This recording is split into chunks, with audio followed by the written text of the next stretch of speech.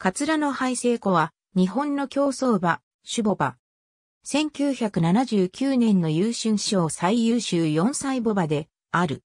輸入シュボ馬前世の中、東内国産馬のハイセイコを初年度3区として1979年の東京優春優勝。さらに1981年の天皇賞を優勝した。ハイセイコーが竹ホープに敗れたに競争を制した。高一スターは12戦1勝で競走馬を引退し、小分けによって、鮫川道夫牧場にて、繁殖牝馬となった。メス系は、小祝農場の基礎輸入牝馬の一頭である、フロリースカップに遡ることができ、フロリースカップの娘のスターリングモアは1929年に、鮫川道夫の祖父、吉太郎が東西で買い取って、提出5商点を含む実証の活躍を見せた。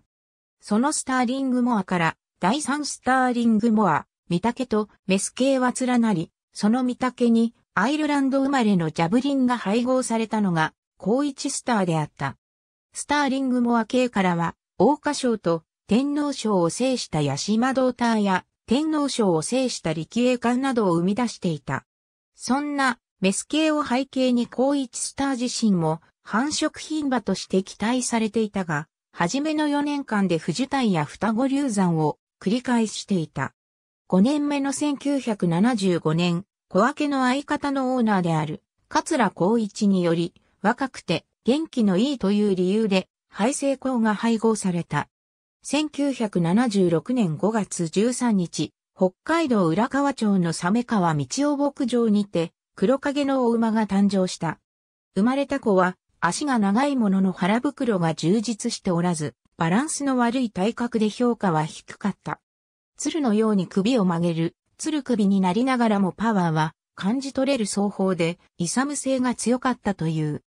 桂土地株式会社の桂光一が用いる、冠名の桂野と父、廃成功から競争場名は9文字以内の定めにのっとって、超音符を除いた廃成功を組み合わせてカツラの廃成湖と命名された。3歳立東トレーニングセンターの小の穂積厩舎に所属し、3歳夏に北海道の牧場から直接札幌競馬場に入った。担当となった厩務員松尾和義はこれといった印象もなく、ただ牝馬の後ばかりついて歩く変な馬と振り返っている。デビューからしばらくは新肝骨流の痛みを抱えながらレースに出走した。9月1日、札幌競馬場の新和戦に、作田誠二が騎乗してデビューしたが4着に敗れた。初勝利は、作田から福永陽一に乗り換わった4戦目の未勝利戦であった。その後条件戦に戦し、3着以内となったが勝利には至らず3歳を終えた。4歳年が明けた1月7日の暮れた化粧で、上がり3ハロンを35秒台でかけて2勝目を挙げた。福永は、今の4歳でこんなすごい足を使える馬は少ないよ。こりゃ大物だと振り返っていた。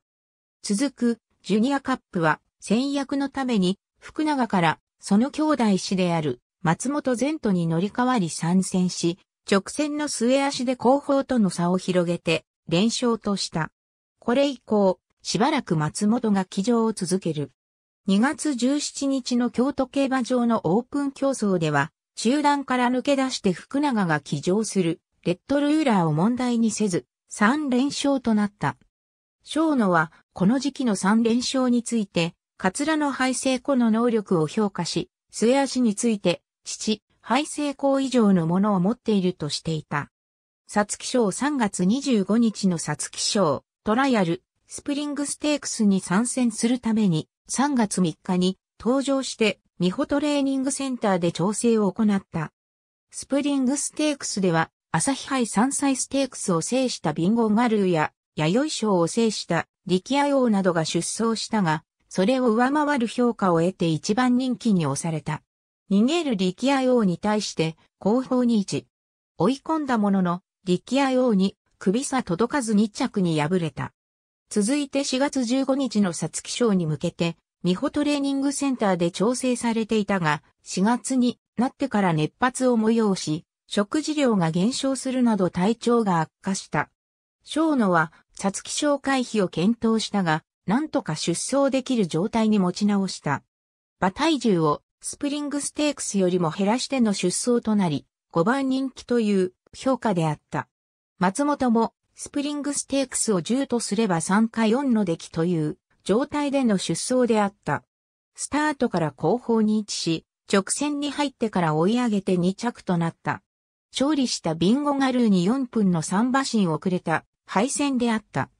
松本は状態が良ければ東京優春制覇は可能と展望していた。東京優春東京優春が行われる東京競馬場のコースに鳴らすために5月6日のトライアル競争である NHK 杯に出走。メジロエスパーダに次ぐ2番人気となり、最後の直線入り口で先頭に立ったが、テルテン流や佐伯ヒーローに交わされた3着に敗れた。そして5月27日の東京優春に出走した。父、ハイセイコーが竹ホープに敗れた舞台に挑む息子に勝利を望むファン心理も手伝い、前走、前々走で敗れたはずのビンゴガルーやテルテン流を上回る一番人気の支持を集めた。スタートから有利とされるダービーポジションの10番手につけ、周辺にテルテン流とビンゴガルーが位置した。第3コーナーから動き出し、最終コーナーで3番手まで押し上げ、馬場の最も内側を走った。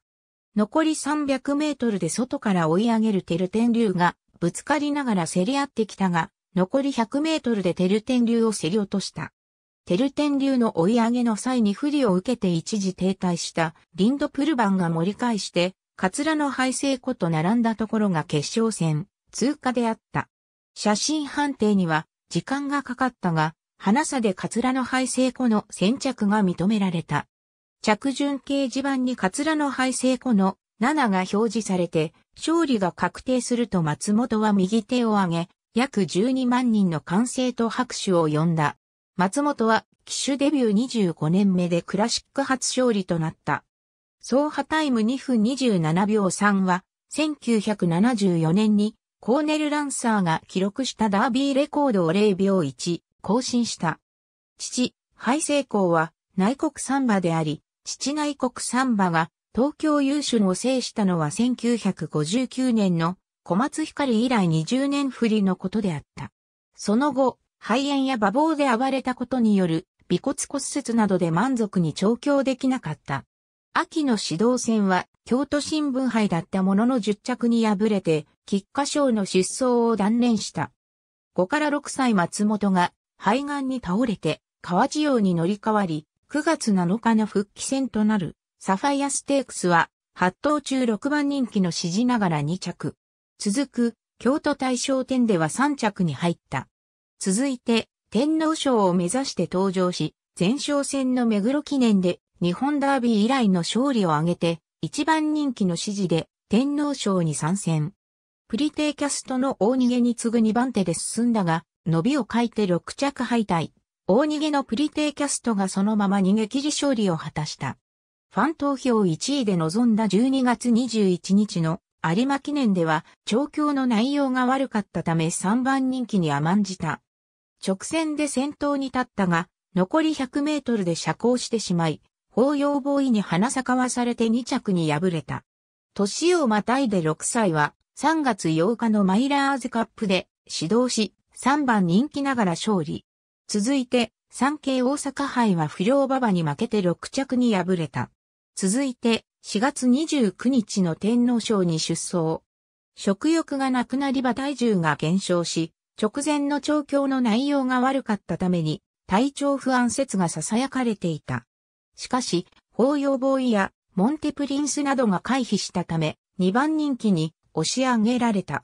中段から最終コーナーで抜け出し、外からカツワールが追い上げてきた。後方との差を広げて2頭での争いとなり、馬体を接触しながら、競り合い、カツワールを首差し退けて、先頭で入選した。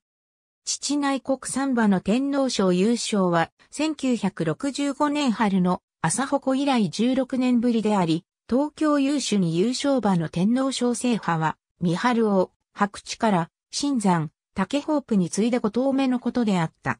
小野は、もうこんなすごい馬に巡り合うことはないでしょうねと、言い涙を流した。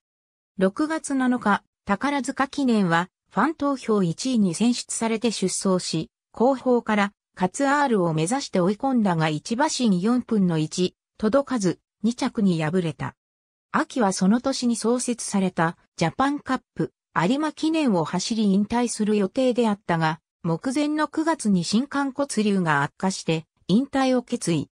第1回ジャパンカップ当日の11月22日、京都競馬場にて川内が騎乗し、日本ダービー優勝時のゼッケン7を着用し、引退式が行われた。約1ヶ月後の12月14日、日本ダービーなど4歳児の主戦だった松本が48歳という若さで亡くなった。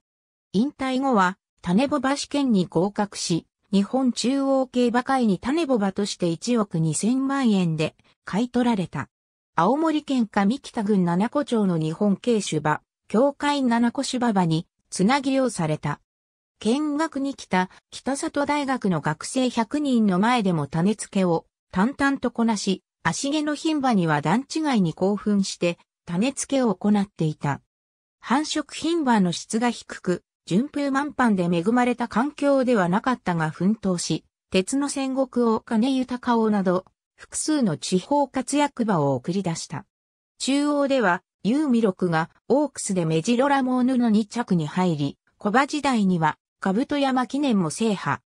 ユーミロクは、母としての活躍の方が目立っており、優先称号会優不要法という重症化中馬さん、兄弟を送り出した。2000年に JRA が実施した20世紀の名馬大投票では62位に選ばれた。種ボバ引退後は、栃木県那須塩原市のジャバ、那須種馬場で余生を過ごしていたが、2009年10月8日に老衰のため死亡した。同時期に、ナスで死亡したルションと共に合同の慰霊祭が行われた。以下の内容は netkeiba.com の情報に基づく。ありがとうございます。